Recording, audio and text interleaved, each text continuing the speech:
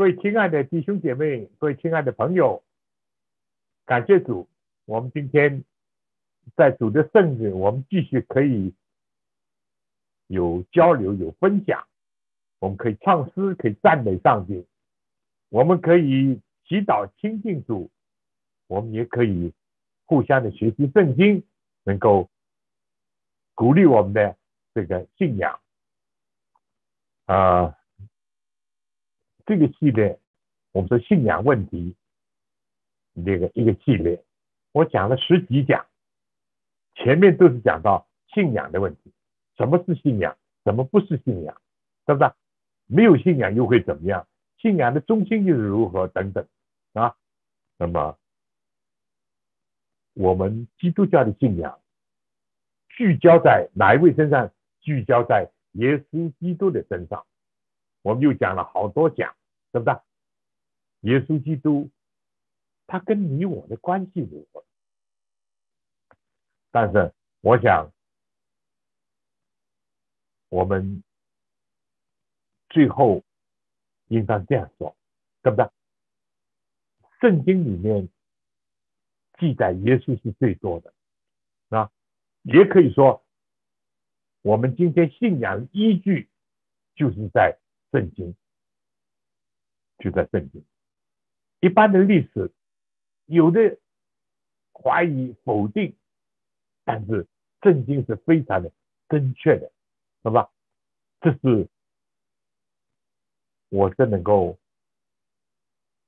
趁着这个机会，能够再把这个总的能够跟大家分享一下。如果有更多以后的时间或者更多的机会和可能，我们会继续的。仔细的分享，我们先做个祷告。亲爱的天父，谢谢你，耶稣基督成为我们信心信仰的创始成终者。谢谢你，耶稣基督来不是造义人，来造我们罪人。耶稣而且来寻找我们，要拯救我们。谢谢主。今天，当我们已经被你寻找到的时候，当我们已经成为你的儿女的时候，我们还想到世界上有很多很多人还没有机会听见福音，有的地方根本没有圣经，也不能讲解或者不能去阅读。主啊，求你开恩，求你怜悯，求你遮挡，使我们有机会读你的话语，分享你的话语。传播主的福音，帮助我们，帮助全世界所有的地区和人民，总有一次机会能够听见你慈爱的呼声，来到你面前，回归父的怀抱，以致我们将来能够进入主为我们预备的国度。谢谢你，听我们的祷告，分给我们今天的讲论、交流和分享。我们短短祷告，祈求感恩，靠主耶稣基督的圣的圣名，阿门。啊，我二十年前写过不少的书，其中有个小册子，是吧？我一看，已经近二十年前出版了一本。你不能错过的书，对不对？一本你不能错过的书。那么我差不多是这个分了十讲，对不对？十讲，当然开始是一个序论，对不对？看序论。那么以后呢，就讲到什么？讲到圣经的中心。我们读书的时候常常要抓住这个重心，那中心是什么？然后呢？圣经的作用啊，还有圣经和社会啊，圣经和我们的今生，而且使得我们能够了解更多圣经跟怎么样？圣经跟音乐，圣经跟考古学啊，圣经和预言，以及最后讲我们怎么样读圣经啊？当然，今天时间的关系啊。我只能综合的先提提这个啊，希望你能够有圣经，希望你有圣经以后要读圣经，希望你能够读圣经的时候得到很多的帮助，很多的属天的喜乐，希望你有一天能够与其他更多人分享圣经，好吧？那么我想。我今天能够讲一件，就是说，圣经是世界上最畅销的书，你知道吗？啊，我们中国人有一句成语叫什么？汗有冲动，意思就是说，这个书多到用牛去背的话，都会使得他流汗，来形容这个书的众多，对不对？我们知道，古代有个以色列最聪明的王叫所罗门，但他他说。著书多没有穷尽，读书多怎么样？身体疲倦，是这样的回事，对不对？今天你不管是这个文字出版的书，或者电子书等等，都太多太多了，对不对？很多年前我有机会去到美国的华盛顿，就世界上参观了最著名的国会图书馆。哎呀，我一进去，单单这个目录架上的分类卡就使得人眼花缭乱，是吧？眼花缭乱。书籍今天就像这个洪流一样的涌进人群，即使说在电视啊、电脑啊、在手机风景的年代，书刊仍然是有利的一个影响。尤其最近，我更加觉得，是不是？啊，这些电子的，它一如果一封锁了，一刷屏了，什么都没有，对不对？但是书籍印出来的还是很重要啊。我说书籍，而且影响了人的生活方式和精神面貌。所以弟兄姐妹啊，我在这里呢，愿意简单的跟你介绍一本。万古长青、奇妙非凡的书中之书，也是一本你不能错过的书。你其他的书有机会多读点是好的，对不对？我们知道，在世界上读书最多的国家是以色列，以色列人一年差不多读六十几本书。这几年前的统治，当然我们因为人口众多。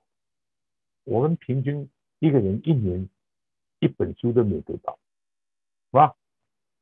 现在很多人用在手机上就看那些其他，不是真正去学习很重要，对不对？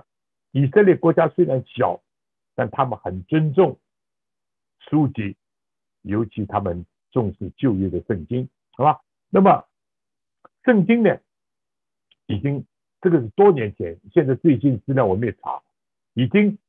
采用了两千两百种以上的文字跟方言的出版啊，每年出版的几千万本，单行本每年超过一亿本，对不对？我已经讲过，在中国的南京，对不对？我去过几次，爱在印刷厂，单单在过去几十年，就是改革开放以后，印了超过一万万本以上，因为有一个文革时候，差不多圣经。都给收了啊，烧了或者啊等等啊，很感谢主。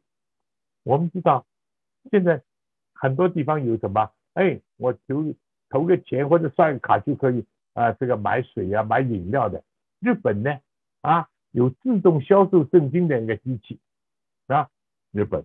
那么我们中国现在也一步步在发展，对不对？啊，当然，那在。有些书店还买不到，有些已经下架等等。不管怎么样，从近代的印刷术，就是古登堡的印刷术，到现在呢，是吧？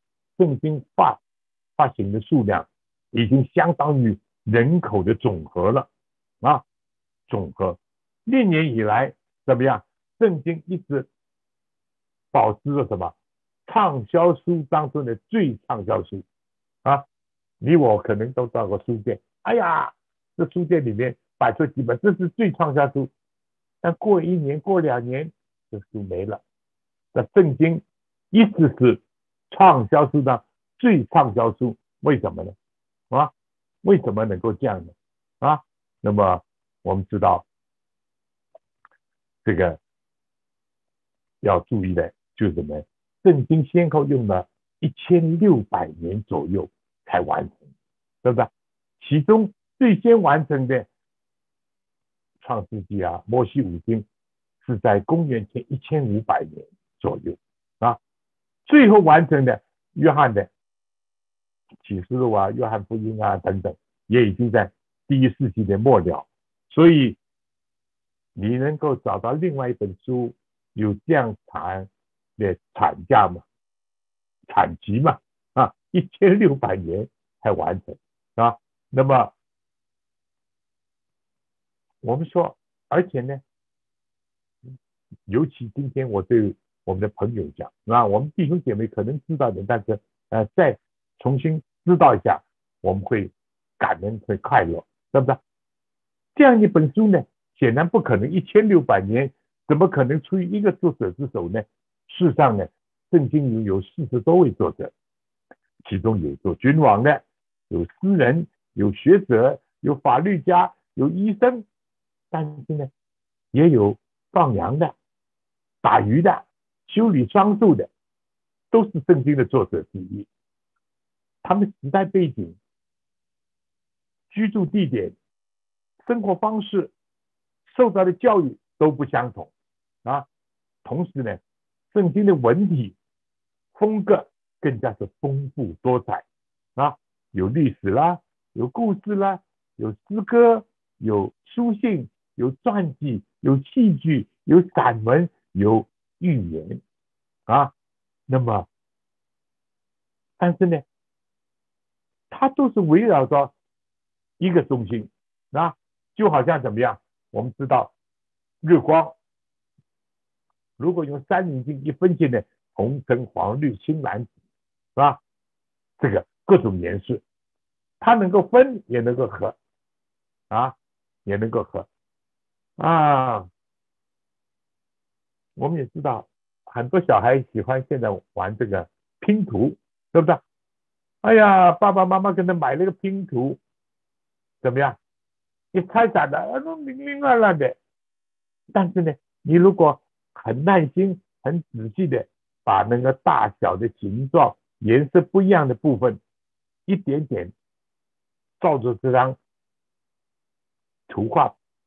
拼的话，拼成功了，哎呀，真的是非常的美丽。圣经也这样啊。我举的这个例子就是这样，对不对？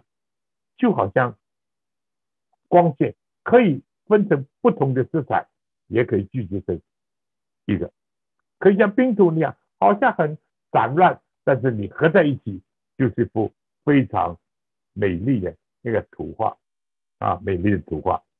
所以。圣经这本大书，上帝给人两本书，一本是大自然，啊，可以学到很多自然科学，很多的这个自然的定律等等。另外一本大书就圣经，啊，分六十六卷，啊，旧约三十九，新约二十七，很容易三九二十七正好，对不对？它能够让我们看到什么？看到。耶稣基督时代的形象，他本有上帝的形象，对不对？而且上帝荣耀所发的光辉，而且呢，让人能够知道怎么可以得救赎这本奇妙的书，是吧？而且呢，这本书是拥有最多的读者，最爱戴的。哎，我们知道，坦率的讲，我也喜欢看书，我也喜欢买书，但有的书买来也没有看。或者一翻，哎呀，没没兴趣，或者太枯燥，就不看了。或者看几页，或者看头看尾，是不是？但是圣经没有一本书拥有过这么多的读者，是这样的受到一种深切的爱戴。这不仅仅是像大科学家牛顿用尽他的后半生来捧读、来研究、而且来注解圣经。他认为世界上很多的书根本像这个童子儿一样啊，没有多大的价值。像银元这样的，当然今天都不用啊，硬币有的还用的。像银元的很少，像金币的更加是凤毛麟角，很少很少。但圣经却是最光辉、最有价值的书。对牛顿大科学家讲，圣经还比他所发现的地心吸力那样更加有分量，更加吸引他啊！但是呢，圣经也对儿童也有这样的吸引力，是不是？我就记得有一个女盲童，眼睛瞎的，他天天用他的手去触摸这个盲文圣经，就是凸字版的一个圣经。诵读上帝的话，啊，因为他家里很贫穷，是不是？他只能替人做帮用，天天用手去怎么洗碗啊、擦地板啊，啊，做粗活，日久天长，他手指的肌腱呢，就自然的就迟钝了、退化。后来当他发现他已经没有办法再触摸到这个圣经了，以前他一摸的时候，哎呀。今天虽然很辛苦，但上帝的话安慰他，啊，鼓励他，他得到很大的一种祝福。但有一天他在不能摸到的时候，摸上去没有反应了，他就哭了，他就哭了。最后他抱起这本盲文圣经，当是其中一部分很重的，我我看过，我去过，啊。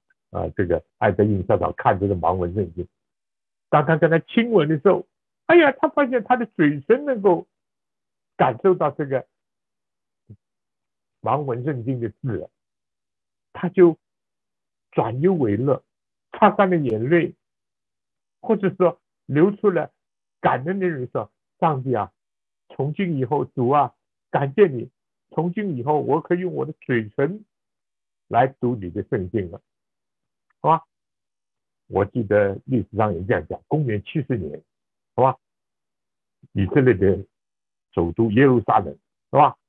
可以说是这个豪华壮丽的圣殿，在罗马兵丁，尽管这个提多大将说不准啊抢夺不准，但是有些为了贪婪，看见这个啊圣殿里面这个金碧辉煌的器皿，就怎么样丢这个火把啊，结果。就着火了，只看见一个白发苍苍的祭司从熊熊的烈火当中冲出来了。他手中抱着的不是什么，不是那些金银器皿，而是抢救了一部古旧的旧约圣经，就羊皮卷啊，圣经。历代以来都有无数这种人，这种动人的世界。有人用来终身来传扬圣经，或者学习他、翻译他，甚至甘愿为他舍命。就我所知道的，这是一个真实的事情。在国内圣经有一度很缺乏的时候，甚至没有的时候，有一位弟兄他病重，但是他用尽他的生命的最后的时间，就抄写了圣经。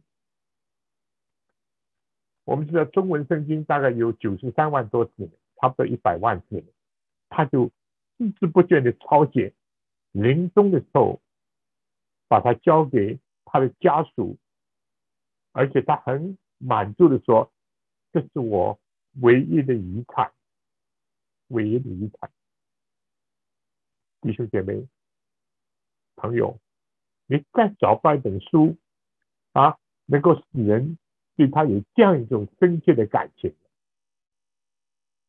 但是另外一面呢，世界上没有其他的著作啊，更加为人所喜爱，但是也没有一本书像他那样遭受过众多的患难跟迫害。我们知道，公元前七世纪啊，犹大有位先知，是不是？就是耶利米。当时上帝把他的话告诉耶利米，叫他写下来，叫他拿去给那个昏庸的君王啊，给他看。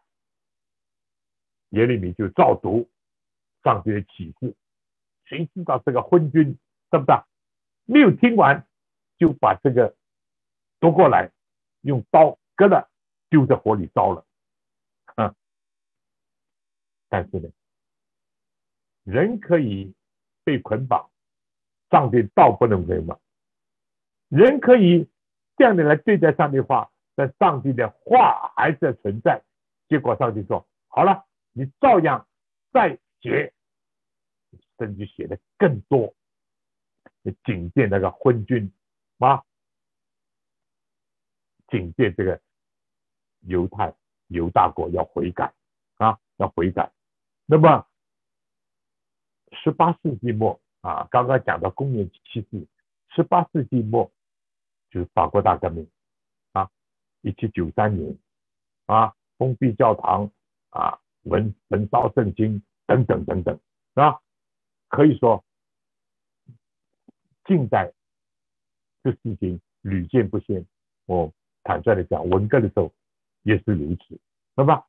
那么或者被收缩了，或被烧坏了。那正如一个诗人形容的一样，怎么样？圣经是一具这个坚韧的铁砧。上面呢，不知道承受了多少的击打啊！大家现在可能看不到，对不对？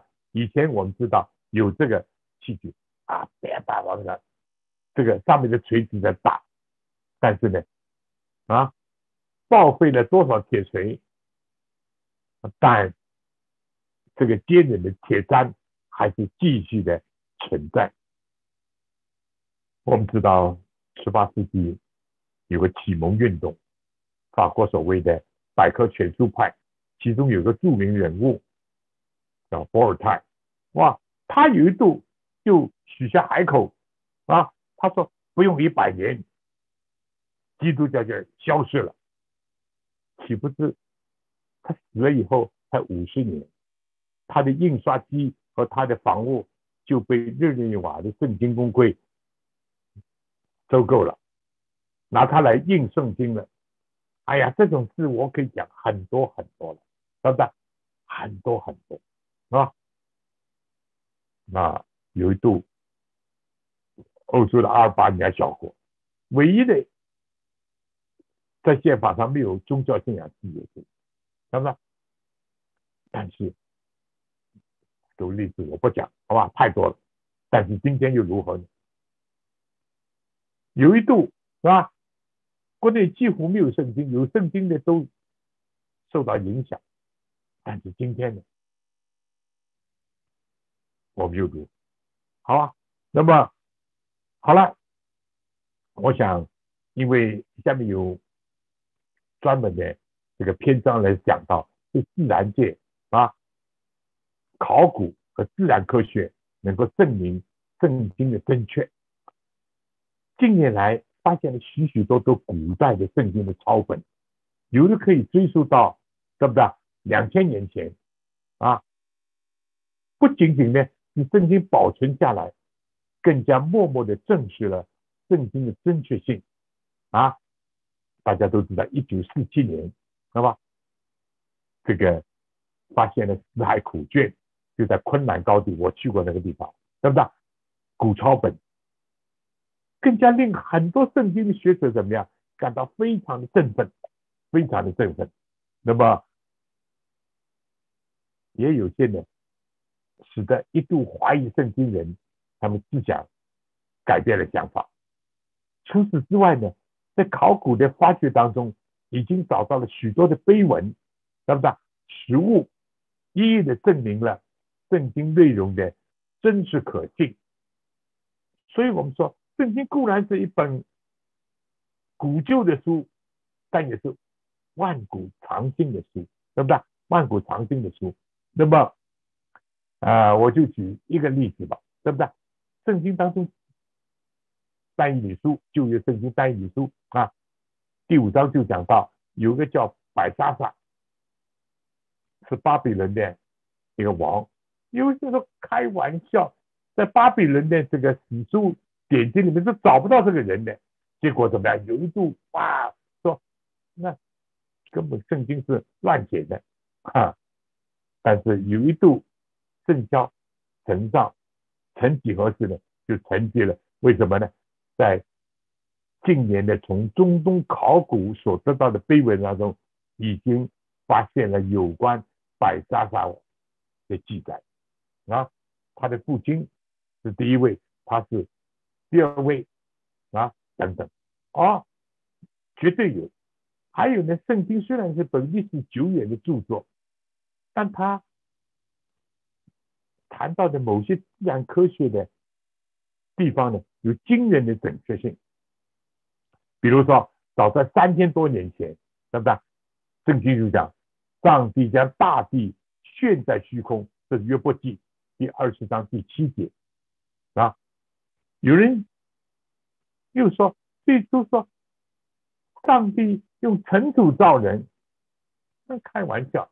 但是有一位叫 s l a u s o n 的科学家啊，化学家，他讲圣经第一卷讲人是尘土造的，这个在字面上、科学上、字面上和科学上都是正确的。在尘土里面所含有的。十四种元素，同样在人体当中也有啊。几乎所有的近代科学的奠基者啊，比如说刚刚讲过的数学微积分和古典物理学的泰斗牛顿，电学大师啊，弗拉迪，原子论的创立者 Dalton，细菌学的，尤其我们近代啊，更加。重视这个细菌病的这个啊，巴斯卡啊，都是热爱圣经、研究和传播圣经的啊。就算连二十世纪爱因斯坦也是一个有神论者，不是无神论者，对不对？另外一个非常有趣的研究领域呢，也是几乎占这个圣经的四分之一的，是预言，上帝预先。人的眼光都有限，我们非但说啊，红呃紫外线呢，我们看不见等等，看前也看的有限，哪怕你不是近视眼也看不到多远，看后也看不到多少。但圣经，但圣经有几乎四分之一是预言的啊，预言的有关世界的，有关一个国家的，有关一个民族的。有关一个家庭的，有关个人，但最最重要的预言是关于耶稣基督的预言，就是救赎主人类的救赎，有三百多个预言，从他的降生啊，他的受难等等，复活再来，对不对？啊，这个非常的奇妙。我们说预言呢，大部分都已经应验了。在今天，因为今天已经世界的末了，对不对？少部分正在应验，有一部分等待应验，等待应验。那么还有更重要的啊，圣经不但有考古学，有啊这个等等啊，有音乐，有诗歌。圣经最重要是改变人心的能力，这是更重要的。是不是？那么圣经最折服人的，是他改变人的人生，以及改变人心，甚至于呢，改变全社会和整个国家，使他们走上正途。我们知道，在太平洋当中有很多岛屿，其中有一个叫所罗门岛，对不对？所罗门岛这里的居民呢，没有听见圣经真理和福音之前呢。是吃人的真饭，吃人的，对不对？没有人敢去的。但是那里呢，现在所罗门岛成为一个旅游的人热情的、友好的一个伙伴。可惜我没有机会去，对不对？那么我们知道，因着圣经的这个教导呢，从前偷窃的，现在非但不偷，而且亲手劳力做圣经的事，并且有余。分给其他缺少人，这是圣经的话。也是现在就是酒醉的清醒，荡妇从良了，赌徒改邪归正了，粗暴的变成温柔的，骄傲的开始谦卑。如果要问为什么圣经啊，这个跟正确的这个历史考古、现代科学都互相的吻合呢？为什么圣经能够改变人心，能够丰富人生活呢？就让圣经自己来回答。提摩太后书第三章十六节说：“圣经都是上帝所漠视的。圣经不是一般人的书，圣经都是上帝所漠视的。与教训、督责、使人归正、教导人学艺，都是有益的。”教属上帝人被完全预备行各样的善事，所以弟兄姐妹，我们有这种圣经，让我们能够珍惜它。各位朋友，如果你没有的，想办法找一本买一本。现在现在有些地方还可以买到啊，在大的教会买了，要放在一边，要好好的读，存在心里，就成为你一个。永不朽坏的一个财富啊！而这本书，所有书中你不能错过的一本啊，错过的一本。那么，我想我再来讲讲这个圣经的中心，好不好？我们知道不少这个著名的作家深深的受圣经的影响，是不是？并且知道，就是圣经讲。提摩太后书刚刚我们读过了一节，十六节，后书三章十六，现在读三章十五节。这里说怎么样？知道你是从小明白圣经，这圣经能使你怎么样？因信基督耶稣有得救的智慧。圣经主要两个功能，那么一个解决我们永生的问题。有得救的盼望和智慧，不是有做生意的智慧。做生意智慧也是个字，呃，科学也是个字，但是不能使人有生命永生的智慧。如果我们从小有机会明白圣经更好，现在也不晚啊。哪怕我现在八十几岁，我还在读圣经。圣经能使我们因信基督耶稣。有得救的智慧，圣经也帮我们解决今生的问题。不是有些宗教只讲将来不讲现在，或者有些说只讲现在不讲将来。有些理论就说，圣经是两个都有，对不对？教训、督促人归正、教人学艺，都是有用，叫我们逐渐的完全，还不是独善其身，要行各样的善事。所以圣经就解决。既是今生，也是永生的问题，这太有意思啊！我们知道，是圣经世界公认的首屈一指的文学的名著。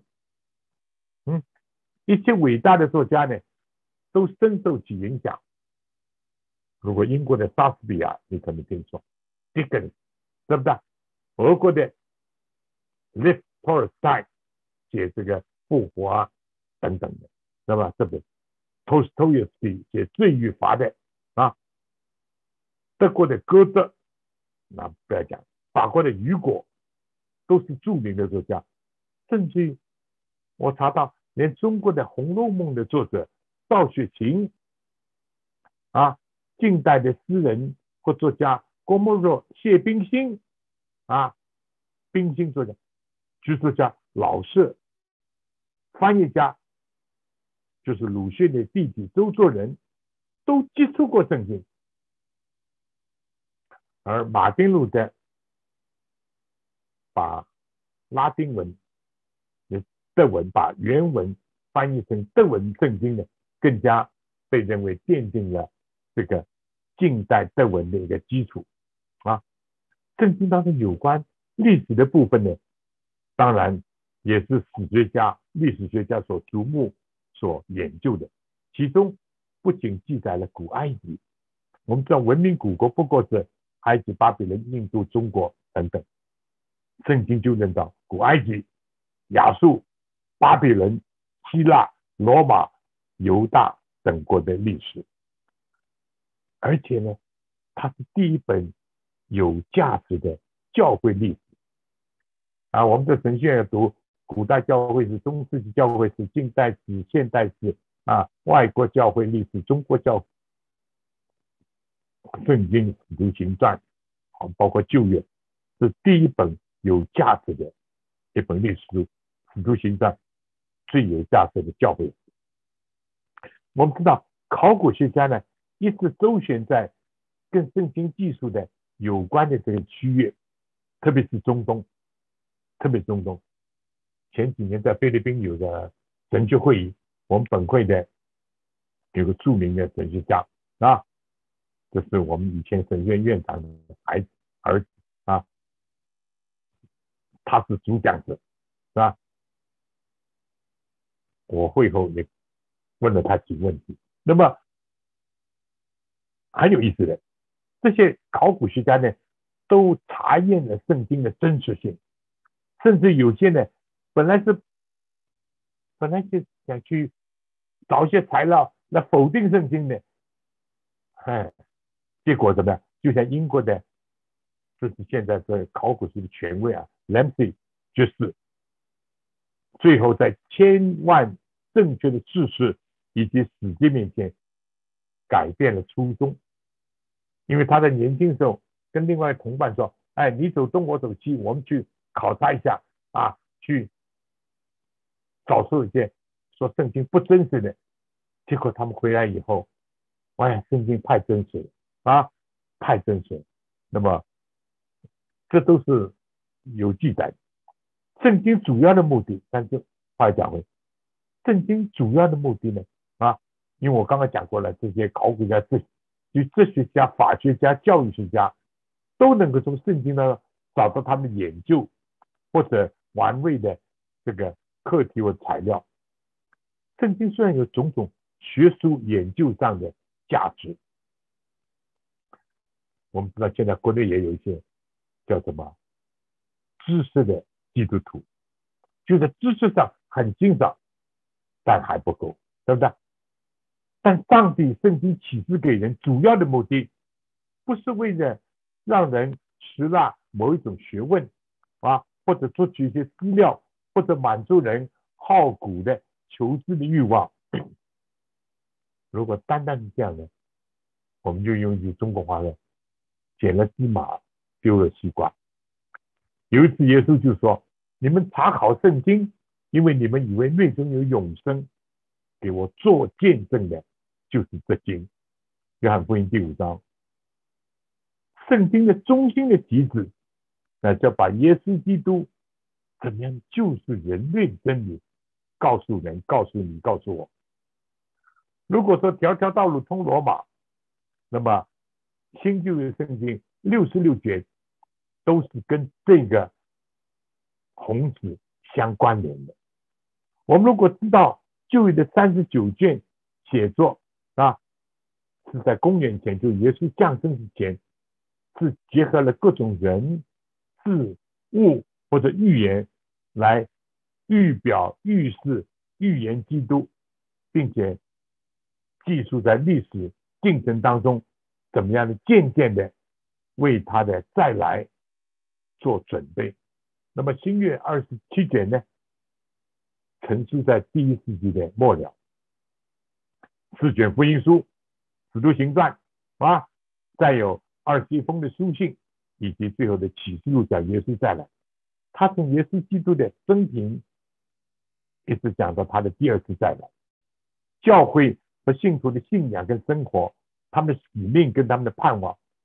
所以从整本圣经来看。从第一卷的这个创世纪所记载的，人类因着始祖亚当夏娃犯罪当中失去的一切，在最后一卷启示录里面告诉我们，因着基督已经重新把它得回来，感谢主，感谢主啊！就像这个英国的著名诗人 John Milton，他写了一本《失落言》，失去了伊甸乐园，还有福乐园，接着耶稣基督的得胜，找回了，得回了这个乐园。那么圣经的中心一定要知道是耶稣基督，啊，认识耶稣基督，那又意味着什么呢？有人说我认识个人啊，他是我的什么什么，那么认识耶稣意味着什么呢？耶稣自己讲，认识你独一的真神，并你所差来的耶稣基督，这就是永生。约翰福音十七章第三节，这是耶稣的祷告，好吗？圣经是要帮助你我认识耶稣，也就是帮助你我怎么样呢？找到永生的书啊！所以耶稣说：“你们查考圣经，因为以为内中有永生。”那么。为什么所有听过、读过圣经人有并不认识耶稣吗？有没有啊？有，那有啊？为什么呢？因为有人说我没有看见过耶稣，对的，我没有看见过耶稣，但你没听过耶稣。那么既然听过了，怎么呢？不相信。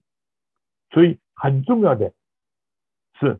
还不单单是有，的是写圣经很多是说我们是亲眼见过、亲耳听过的。我们哪怕今天没有听、没有见过、没有听过直接，但我们听过了。但如果听了不相信，那有什么用？也有人说我相信，但我不顺从。嗯，所以信而从主，变得。平安无数。我们非常相信，而且要遵从、听从上帝的话，听从上帝的话，这点是非常重要。因为我们知道，今天有些人说耶稣是一个大医生，耶稣是一个革命家啊，耶稣很爱护穷人，耶稣是思想家，耶稣是教育家，对不对？但如果不认识到，他是掌管时间、空间的上帝，是你我个人的救主的话，那还是不够。比如说，你我认识我们的父母吧，当然了，我们从小或者在家里天天看到他们，但是呢，也就在完全相信基础上，你才能够认识，非但他们的外貌啊，我的爸爸长得高啊，我的妈妈长得如何如何。更加认识他们的爱心，他们的忍耐，他们的管教，他们的眷顾。你我可以设想一下，一旦我们怀疑，哇，他他们到底是不是我的爸爸妈妈？那那这些会变得如何呢？同样的，圣经介绍你认识耶稣基督，并且因信他，可以有永生。但假如你不信，那么你就是看了十遍、二十遍的圣经，也是毫无用处。嗯，今天有些叫知识基督徒，他们对圣经也看过、读过很多，就像耶稣时代的那些文字啊，他们是专门研究旧约圣经，但是呢，看着看着不信，甚至有的还挑剔批判。那没有，有的就算是信了，哎呀，但是这个要求我要这样做那样不要做，做不到，这也不行，对不对？所以我们知道啊，有一次有一个啊很有钱的一个人，一个慈父，哇，在这个市井匪类当中呢，认出了找到了他的儿子啊。他的孩子还是衣衫褴褛啊，这个形容这个面貌很污秽肮脏。爸爸很死真的对他的孩子回来，回来，哇，你跟着我来，我可以原谅你过去的一切，你不用在这里困苦不安、漂泊流浪。这个孩子如果信呢，就会怎么样？就会得到他父亲的一切。但如果他硬是不信，那他父亲有什么办法呢？叫他来，他不来，叫他跟他，他不跟他。其实我们都是怎么样？都是上帝面前的浪子，对不对？圣经告诉我们说，他正在呼召我们，要把永生赐给我们啊。那么，这是我看过的一个报道，这是在正宫消息里面。我们知道，在南美洲的最大的国家是巴西，巴西的首都啊，利尔热内卢，有个小孩叫伊斯玛，这个小孩，他在六七岁的时候呢，已经是家喻户晓的神童 啊。他的聪明才智已经吸引了成千上万的电视听众。为什么呢？他能够回答全世界各个国家首都的名字。这国旗的样子是怎么样子？而且毫无差错。如果你问问你，我问问我，全世界现在二百多个国家的首都什么？我能够讲出一些啊啊，美国的华盛顿，中国的北京啊啊，法国的巴黎啊，英国的伦敦啊啊，这大有些小国家，对不起，不知道。至于他们的国旗呢？哎呀，有的根本眼花缭乱，分辨不清。但这个小孩子六七岁的时候啊。全部能够应答如流啊，毫无差错，那么？那么他是名副其实的神童，真神上帝的孩子，因为他逢人就见证他这个小基督徒。有一次，这个巴西的总统啊，这应当是一二十前的事情，巴西总统听说了，对吧？就把他找来接见他，但他先对总统说。让我们先做一个祷告，好吗？祷告完了，就看见总统满面的热泪。是的，伊斯玛确实是像保罗那样啊，论到提摩太从小明白圣经，而且呢，他非常明白圣经，他是逢人就见证主耶稣基督。要把得救的智慧告诉人。伊斯玛不单单是在一般的技术上聪慧过人，他更加有一种得救的智慧，因为他相信基督，爱慕而且传扬基督。所以弟兄姐妹，如果我们从小有机会在基督家庭长大，这是有福的。如果我们做父母从小能够，教导我们的孩子是有福的，但求主帮助这一代的青少年下一代要有信心，要有盼望，要有爱心，要能够真正的坚持这个信仰，好吧？那么圣经里面是上帝说，还不是先知耶利米讲，上帝说，智慧人怎么样？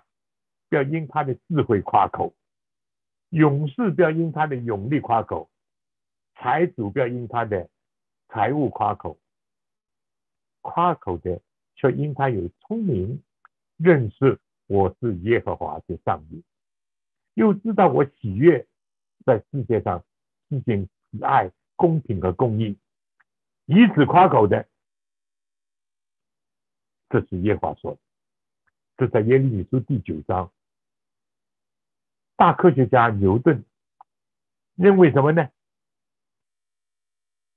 怎么样？真理，他是在真理的汪洋大海面前，他不过是一个在沙滩上、海边捡贝壳的小孩。他把自己完全谦卑在全知全能的上帝面前，一个称雄一世的拿破仑，是不是？法国拿破仑。在临终之前，被囚在这个地中海的一个圣赫勒拿岛上。那时候，他感慨无穷的承认自己凭借着武力的威势啊，差不多要统一欧洲。但如今呢，大江东流，去而不返。可是耶稣基督呢，他说未曾拥有一兵一卒，但凭借着他的爱。却感到了千千万万的一个跟踪者。今天已经二十几万万的人相信跟从耶稣，对不对？甚至愿意为他舍命。我还读过一个报道，美国有一位亿万富翁的女儿，那现在可能还不是亿万，是吧？或不是网上更多，叫做 Hunt 啊，June 小姐。当有人问他：“你作为一个亿万富翁的女儿，究竟是有什么滋味的？” 他一度这样回答：“在我长大的时候，这些财富代表我能做任何我想做的事情。”是小的时候，当他真正的接受了基督以后，他就这样讲：“我愿意把耶稣基督所能赐予人的。”丰盛的生命，以及凡愿意接受他人来分享，这个真比百万金钱更有价值。哈利路亚！而同时呢，那个叶子战想并吞欧洲、亚洲的这个希特勒怎么样？或者像侵略中国的日本的东条英机之流呢？所谓的勇士，只落在一个自杀的下场。多少财主呢，沉迷于财色酒气，但是往往不可终日。不少的科学家呢，啊，能够发现他们研究的成果，却没有发现人生的乐趣和价值。所以弟兄姐妹，今天我们如果听见、看到、相信。并且遵从圣经，接受耶稣是我们个人的救主，我们真的是有福，对不对？那么最后我想讲一讲，就是圣经的功用。我刚刚简单讲过了，对吧？圣经都上帝所漠视的，以教训、督责、使人归正、教导人学艺，都是有益的，叫属上帝人得以完全。还要预备行各样的善事。圣经是一本万古长新、奇妙非凡的书，因为圣经虽然是接着人手所写的，却是受了上帝启示。这里说，圣经都上帝启示的，就上帝启示而成，它能够解答人生最大的关于过去、现在跟将来的三个问题。哲学也就研究。人到底怎么来的？人的去向是如何？以及人今天活在世界上的目的和意义是什么？这也是圣经主要的作用之一，就使你接受圣经，因信基督耶稣有得救的智慧，就是有永生的死亡啊！现在呢，我们再来说，圣经对我们今生。不单单永生，有今生，是吧？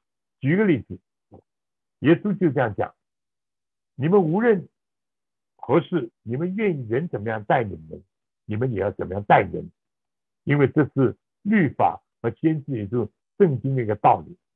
当然，中国人讲己所不欲，勿施于人。但耶稣这里这句话呢，比中国恐怖子讲的更加要进一步。这里说。你愿意人怎么样待你们？你们先要怎么样待人？啊，这是积极的，是不是？积极的。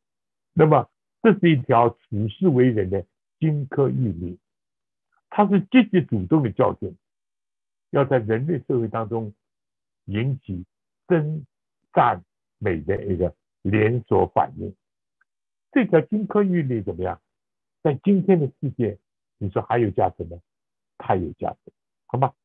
试看今天的社会，不论是工商企业家，或者学校，或者运动场，充满了局类的不正常的一种竞争，啊。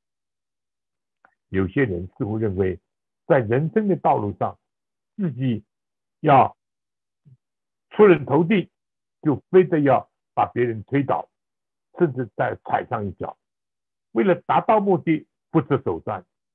甚至还有人奉行怎么样，无毒不丈夫，或者追求即使生不为人杰，死也为鬼雄，甚至说人不为己，天诛地灭这种偏见的真理。好吧？我们知道，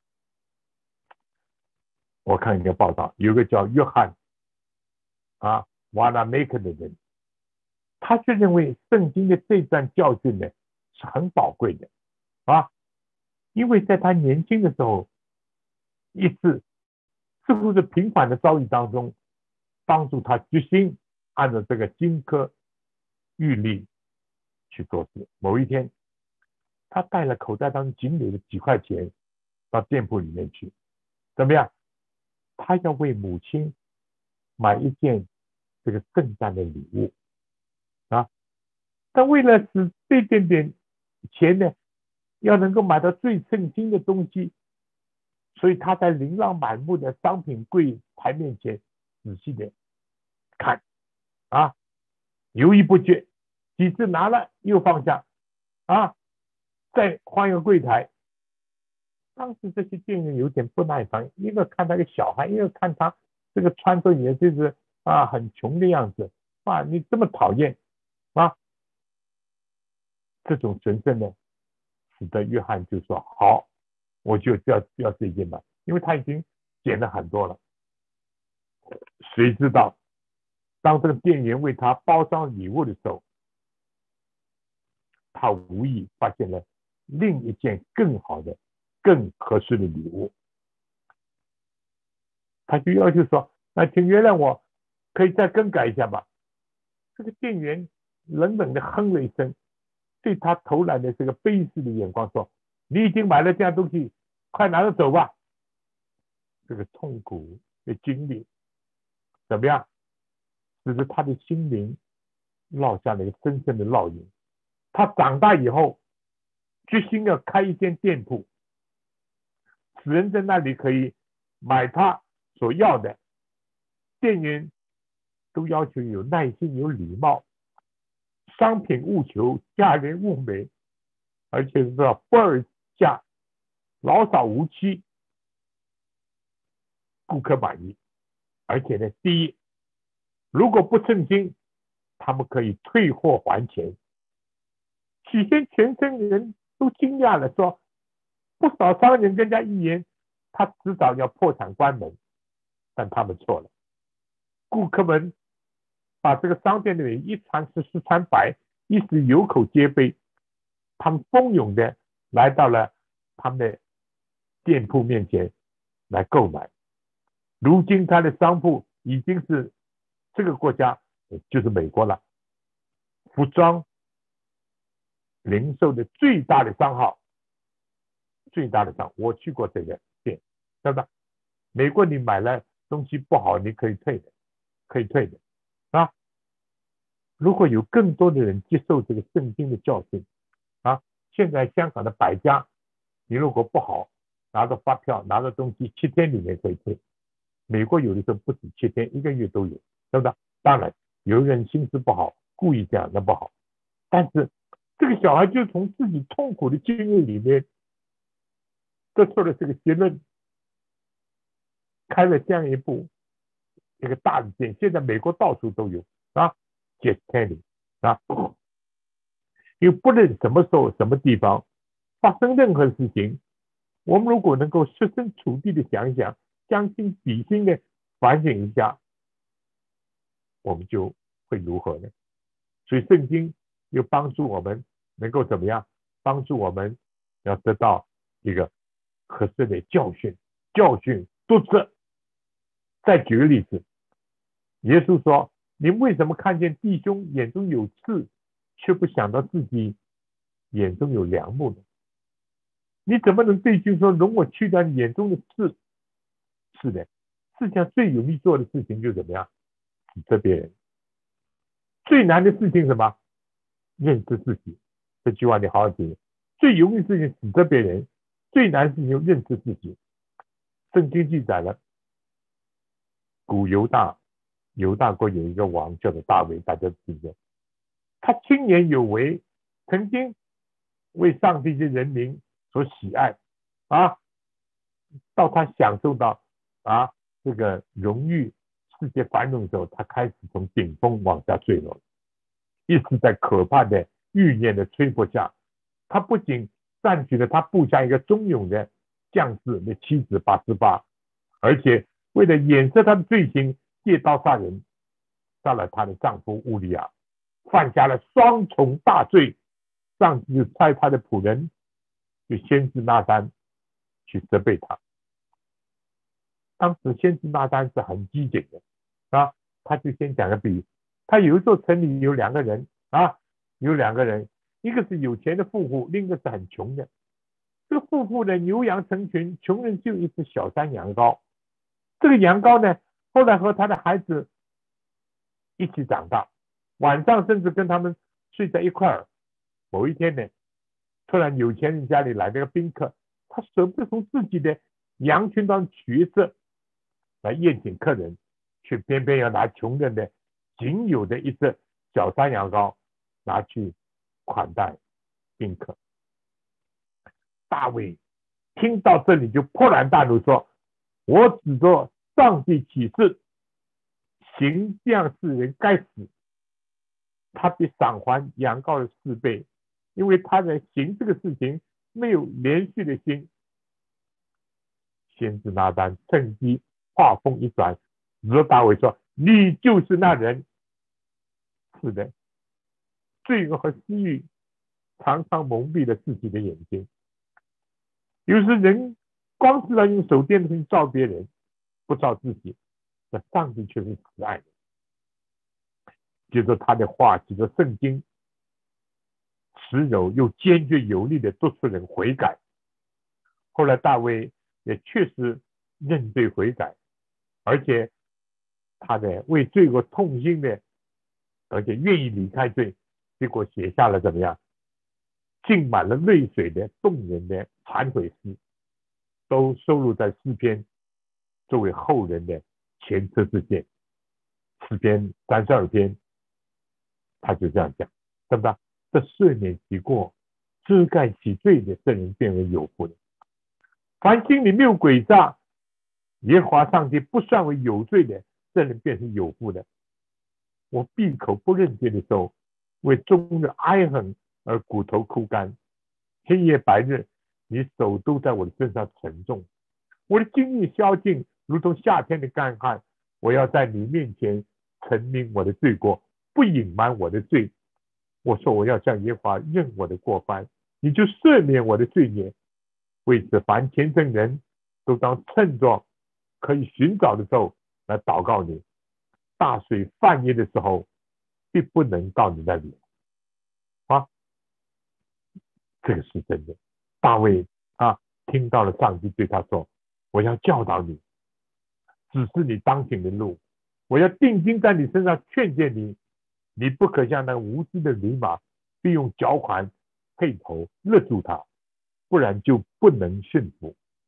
二人必多受苦处，唯独依靠耶和华的，必有在四面环绕他。你们一人应当靠上天欢喜快乐，你们心里正人都当欢呼。哇，这篇仅仅用了圣经怎么样？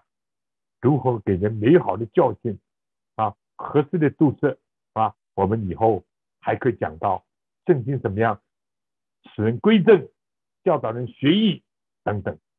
亲爱的弟兄姐妹、各位朋友，求主能够赐给我们帮助，好吧？那么愿主一步步带领。如果我们有机会继续的讲，我们会一步步讲的更多一点，是吧？讲到圣经跟我们今生，因为上帝的话是我们脚尖的灯，是我们路上的光。圣经能够使我们归正啊！圣经改变了多少多少的人，对吧？教导我们学艺，还不单单归正，还要学艺啊！止住作恶，还还要学习行善，因为耶稣基督是我们的救主，是我们榜样。都所有这些都记载在圣经里面，弟兄姐妹，你我读圣经的时候，千万不要忘记这个，耶稣是圣经的中心，唯有他是我们的榜样，唯有他是我们的力量。所以最后我讲，对不对？圣经是我们信仰的依据，是我们品格的标准，是我们经验的试金石，也是我们一切辩论、争论的最后的仲裁者。愿上帝能够使你我得到这个财富，而且与人分享。尤其在今天的时代，是多么需要、多么需要上帝的话。如果我们还有机会，我们继续分享；如果没有机会，你可以自己拿圣经来读，读了以后有感动的，可以去与人分享。愿上帝恩给你帮助。我们最后做简短的祷告，亲爱的天父，谢谢你留下了这本大书给我们，谢谢你让我们在圣经里面看到主耶稣基督的教训、教宗榜样，更加愿意成为我们的救主。主啊，帮助我们，我们是人，是软弱的人，有亏欠的人，但是靠着你，靠着你的话语。我们可以改变，谢谢你，赞美你，答应我们的祷告，分给在你面前的每一位、每一位的家庭，特别帮助我们还没有接受你的我们的朋友，能够来跪向你，能够来跟从你，谢谢你，我们短短的感恩祈求，靠主耶稣基督你的得胜的圣名，阿门，诚心所言。